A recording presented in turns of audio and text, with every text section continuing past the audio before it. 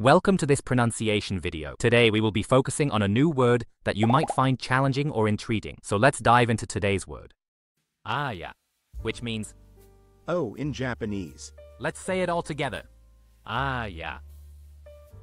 Aya. Ah, Aya. One more time. Aya. Aya. Aya. Thank you for joining us on this adventure in pronunciation. Remember, language is a journey, not a destination. Keep exploring, experimenting, and expanding your linguistic horizons. We'll see you next time.